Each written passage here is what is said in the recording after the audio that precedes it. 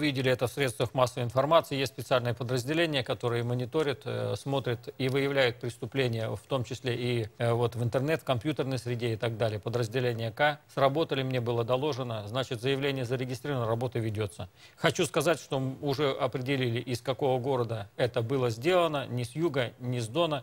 Но сказать по этому поводу, что порой цинизм и хамство, и, и вообще не, не знаю, какими словами определить, просто зашкаливает.